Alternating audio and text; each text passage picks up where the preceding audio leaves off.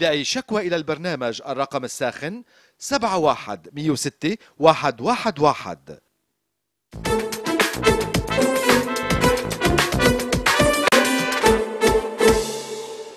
حالتنا الطبية الخاصة لليلة مستمرة. الموضوع التالي هو ال hypoglycemia أو انخفاض مستوى السكر بالدم عند المصابين بمرض السكري. الجمعية اللبنانية لأمراض الغدد الصماء أطلقت هالأسبوع حملة للتوعية حول هالمرض اللي بحسب الإحصاءات 79% من المصابين بالسكري النوع الأول و47% من النوع الثاني عانوا بفترة من فترات مرضهم من هبوط السكر. وهيدي طبعا نسب تعتبر مرتفعة. نحكي عن هالموضوع مع الأخصائية بأمراض الغدد والسكر الدكتورة باولا عطلة. أهلا وسهلا فيك دكتورة. وشكرا لحضورك. حضرتك يعني بالإضافة لعيادتك بجامعة ومستشفى القديس جاورجيوس هل الارتفاع اللي عم تلاحظوه اليوم بالمرضى اللبنانيين هو مؤشر لشيء؟ هلا مرض السكري عامة عم يعلى عم يتزايد بكل بلدان العالم مش بس بلبنان. ودراسات بينت إنه هالرقم بين هلا وبين بعد 20 سنة رح يدوبل. وخاصة مرض السكري النوع الثاني اللي هو بيصيب الناس الكبار بالعمر. لأن إحنا أول شيء عم نعيش أكثر يعني عندنا أكثر نسبة إنه نقدر risk أكثر إنه نصاب بمرض السكري. وبعدين في عندنا عوامل خطورة كثير مهمة زايدة اللي هي قلة الحركة والسمنة والأكل الغلط اللي هو عم بخلينا نعمل مرض السكري أكثر مع إنه بحسب الدراسات العالمية إنه صحيح إنه العمر عم بيزيد بس كمان الطب عم يتقدم وبالتالي عم بيعالج المشاكل بطريقة أحسن. بس بعد يبدو إنه هيدي هيدا التوازن بعد ما تحقق الطب كثير عم يتقدم وبمرض السكر عم يتقدم كثير كل سنة عندنا دواء أو دوايين نعم. جداد عم يكتشفوهم بس الأمراض عم تتزايد. نعم. وبلبنان عندنا نسبة كثير قوية بمرض السكر بالنسبة لغير بلدان. يعني تقريبا 14% من العالم اللي بعد ال 40 سنة عندهم نسبة risk إنه يعملوا مرض السكر بحياتهم. نعم وهبوط السكر عند المصابين بمرض السكري هو نتيجة شو؟ وهل هو شيء طبيعي أو؟ هلا هبوط السكر أول شيء إذا بدنا نسميه ونعرف عنه الناس أوقات بيكون رقمهم بحسوا على العوارض اللي هلا بنحكي عنها بيكون رقمهم مش هالقد واطي بس هو لنعرف مزبوط على الهبوط هو رقم تحت ال 70 يعني 0.70 جرام بالدم يعني تحت ال 70 لنقول في هبوط بيعمل 100 أو 150 أو 120 هذا منه هبوط هلأ الهبوط بيصير أكثر شيء بيجي عن جراء الأدوية. اللي بنعطيها لأمراض السكري لمريض السكري. والهبوط لازم يكون عنده تثقيف المريض من أول مرة بيجلس مع طبيبه يقدر يعرفه شو هن العوارض ليعرفها لأن المريض ما رح يفهم إنه هو عوارض سكري. ضمن العوارض يعني. هن العوارض هبوط السكر بس يهبط السكر بالدم ويصير تحت السبعين رح يعطي عوارض للمريض. والمريض لازم يعرف شو هي العوارض لحتى يقدر يعالج الهبوط لأن الهبوط كثير مضر. نعم. أنا لأنه بس في شغلة خليني أنا أفهمها لأنه حسيت حالي هلأ ضعت شوي. في مرض السكري. ناس بيكون عندهم مرض سكري وعم يعملوا فيه علاج. هل مرضى ممكن ينصابوا بشيء اسمه هبوط السكر بالدم عندهم. اللي هن كلهم يعني كل مريض سكري بالضرورة ينصاب بالهبوط أو لا؟ لا هلأ نحن مريض السكري أول شيء هو ارتفاع السكر بالدم. ارتفاع السكر بالدم عنده عدة علاجات. أول شيء أهم شيء التغذية وأهم شيء الرياضة. نعم. بزيادة عليهم بيجي أدوية. في عنا أدوية ما بتهبط السكر. يعني ما عندها هذا عوارض جانبية إنه هي تعمل هبوط سكر بالدم. في أدوية بننجبر نعطيها للمريض في عندها عواقب جانبية إنه يصير في هبوط سكر بالدم. يعني ينزل زيادة عن اللزوم. ينزل أكثر ما يزيد بس في عوامل هي اللي بتزيد لينزل عن اللزوم. يعني المريض؟ لازم يكون بيعرف إذا أخذ حبة السكر حبة الدواء لازم ياكل من وراها. إذا هو قفى وقعته الأكل أو مثلا تروق وضم بلا أكل العشيه للساعة 6 رح يعمل هبوط سكر لأن دواء بجسمه. من جهة. من جهة ثانية إذا مثلا المريض أكل وراح عمل رياضة ما كان عارف بده يعملها أكثر ما لازم وما أكل قبل هالرياضة هذا هالمصروف الحراري كل حركة تبع العضل بتخلي يعني هي استعمال سكر. بين الدواء والجسم مزبوط. بس يصير في خلل بصير في هبوط. بين الأكل والرياضة والدواء.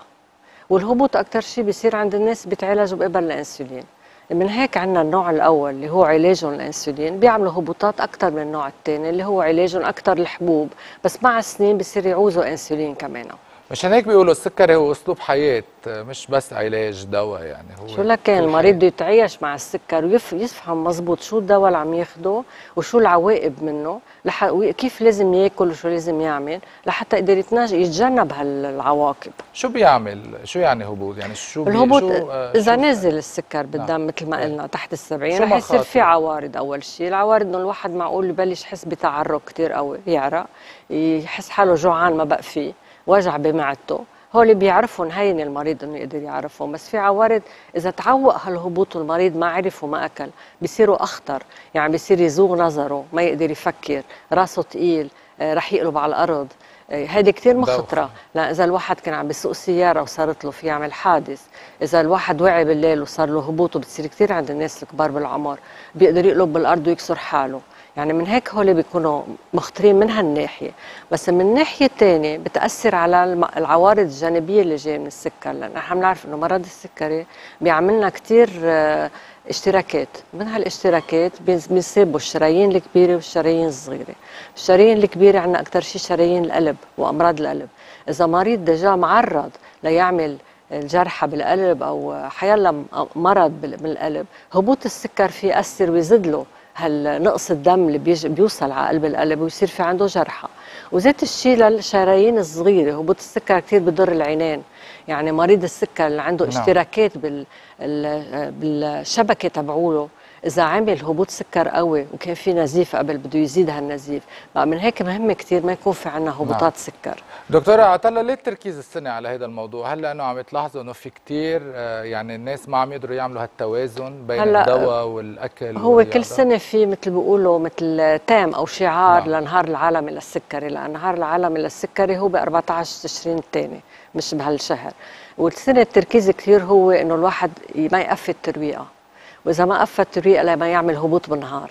من هيك شوي في تركيز كمان على ال- على الهبوط بالسكر لأن الترويقة كثير مهمة عند مريض حلقتنا اليوم حلقة ترويقة. ترويقة لأن أبداً. بلشناها بترويقة ورح نختمها بعد شوي. على مزبوط. الترويقة. الترويقة كثير مهمة عند مريض هلأ السكر بينت إنه كثير مهمة لأن إذا عنده إبرة ياخدها وأخدها وما أكل رح يصير عنده هبوط ليصير الظهر. والناس بعدها ما عندها الوعي الكافي إنه بس كونوا واصفين لهم حبة الصبح إنه الحبة إذا قايلين له قبل الترويقة يعني قبل الترويقة مش بتاخدها بالبيت الساعة 6 بتروح تروق الساعة 12 بالشغل. هيدي كثير مهمة. لأن بهالوقت الحبة بتكون علت لك الأنسولين بدمك رح يصير عندك هبوط سكر. بيكون الهبوط من قلة التوعية مش لأنه آه، أكل قليل أو لا. يعني أنتم هذا الموضوع بتعالجوه من خلال ترجعوا ترشدوا المريض على شو آه، لازم ياكل كيف لازم يتصرف. طب بس يهبط السكر شو شو الحل؟ بس يهبط السكر. أول شيء الواحد لازم يعرف شو هن العوارض لأن دغري أول شيء لازم يعملوا مي والسكر. هي أهم شغلة الواحد ياخدها. هلأ إذا مش حده المي والسكر موجودين هذا عم نحكي لمريض سكر يعني لمريض تقولي أكيد. له، آه، بده يشرب مي وسكر وإلا الهبوط إذا تركناه في يوصل لغيبوبة. في غيب عن الوعي ويصير بده مستشفى وإذا غاب عن الوعي والأعضاء المهمة بالجسم مثل الدماغ تأثرت ما بترجع يعني بضم بغيبوبة كثير مهمة.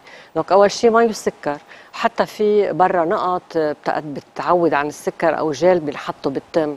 إذا المي والسكر ما وصل لعصير بيقدر يشربها. آه، في ناس بتعرف حالها إنه بتعمل هبوط تكون حاملة بجزدانها بونبون أو شوكولا. ما في دواء يعني لهالحالة. الدواء هي ما نعمل هبوط سكر. نحن ما لازم لازم نسأل المريض بكل مرة بيجي عند الحكيم إذا يجي لعنا إذا عم بيصير له هالعوارض هو بيكون مبسوط لا أنا محافظ عليه دائما معي شوكولا بجيبتي ما مش هي الشغله لازم نشوف ليه الهبوط. نخبر الحكيم صارت معنا نخفف لنا من الأدوية لما يصير الهبوط. نعم. الهبوط قد يكون يعني قلنا أكل قلنا رياضة بس قد يكون إنه دوز الدواء زيادة أكيد غلط. بركي بدنا نعدل بعيار يعني الدواء غلطة حكيم فينا. مش غلطة حكيم الح- الحكيم معقول وصف الدواء. الدواء كان لازم أو سوء تقدير يعني سوء تقدير أو إنه الحكيم بعد ما فهم على الجسم 100% لا مش قضية فهم. أول شيء يمكن بهالوقت مثلا أنت بهالنهار جيت عند الطبيب عايزك هالكمية من الدواء. بس أنت بعد شهرين تحسن السكر تبعك ولازمك كمية أقل. بس أنت ما رجعت على العيادة عند الحكيم رجعت بعد سنتين وبعدك عم تاخذ زيت الكمية. هيدي شغلتك مش شغلة الحكيم مش الحكيم ما قدر وأنتم لك. بتكونوا طالبين مثلا لا مرضى السكري يجوا كل شهر مثلا. كل ثلاث ثلاث أشهر. ليراجعوا المخزون السكر ونشوف شو وضعهم. وصار في تقنية إنه الشخص هو منه لحاله في يعمل شيء مثلا ليعرف مية بالمية آه، في مكانات بيفحص الواحد سكر من إصبعه.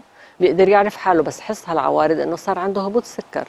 ليه؟ دائما عم بحسهم بيتصل بطبيبه بيقول له أنا عم حس بيعدل له بالدواء أو بيرجع بيشوفه نعم. يعني أكيد. إذا بدنا ناخذ الموضوع ل يعني السكري بشكل عام آه، عم تفهموا شو سبب تزايد الإصابة بالسكري؟ هلأ التزايد أكثر شيء هي زيادة السمنة وقلة الحركة. حتى إنه ال- ال- المنظمة العالمية لمرض السكري هلأ عاطي إرشادات إنه الواحد ما لازم يضل قاعد ساعة ونص بلا ما يقوم. 90 دقيقة. ما يضل قاعد على كرسي بلا ما يقوم. قد إيه صار؟ يعني ما لازم نختم بعدين. بدك تقوم تتمشى شوي تتزيد من الحركة تبعك لأن هي كلها القعدة هي آه، مثل آه، عوارض خطورة ليصير معك مرض السكر بعدين وكل الأمراض اللي جاية اللي ناتجة منه. يعني قلة الحركة زيادة الوزن وأكلة كل ال fast food والأشياء اللي فيها كثير سعرات حرارية لأن كلها بتروح وبتعملنا تخزين بال... بالمواد الدهنية بالخلايا الدهنية تبعيتنا وبتكبر لنا إياها وبتعرضنا لمرض السكري. أهم شيء الترويقة وأهم شيء مرضى السكري لازم دوريا يروحوا عند الأطباء تبعهم ليضلوا محافظين. وصلت إنه معي شوكولا بال- بالشنطة باخذها بس حس بالدوخه أو بس هذا مش شيء ابدا صحي لازم ال- المرضى ينتبهوا من هذا الشيء. واهم شغلة اللي بيصير لهم عندهم هبوط سكر بالليل. لأن بيصير لهم هبوط سكر بالليل فيه ما يحسوا عليه. يعني بنعرف كثير ناس بيكونوا عندهم النوع الأول وعلى الإبر. بيجي جوزها بالليل بنلاقيها كلها مسقعة مثلا أو ما عم تنهز. بيعرف بيتركها. لا بيتركها حرام. بيعرف دغري إنه عندها هبوط سكر. نعم. وبيفحص السكر بشوف واطي للنوع الأول في إبر خصوصي بتنعمل دغري بالبيت نعم. للمريض ما يغيب عن الوعي إذا مش قادر يبلع ليشرب مي وسكر وهيدا كتير مخطر لأن ساعتها كمان له وقاية وفي مكانات نقدر نحطها لل... للمريض مثل إلية سوبر صغيرة هيك قد ال 500 آه، شو اسمها نعم. هي ليرة في 500 ليرة. بحطها على خصره بتسجل له السكر بدمه على أسبوع. نعم. بنقدر نعرف إمتى عم بيصير معه هبوطات. لنقدر نظبط بال- بالعلاجات وبعيارات الليل يعني بعتقد أخطر شيء خطرة. لأنه ممكن. أكيد. دكتور عطله شكرا لك. يعطيك ألف عافية. استراحة وبنرجع إلى الفقرة الأخيرة من حلقة الليلة. و meet my friend كن صديقي. thank you زافان بعد الفاصل meet my friend زافان يتعرف على جويس الريس مباشرة على الهواء. أنا ماريو. أنا عندي meet our friend Joyce الريس. بلا طول سيرة. مستمر معكم بعد الإعلان على الرقم الساخن 71 106 111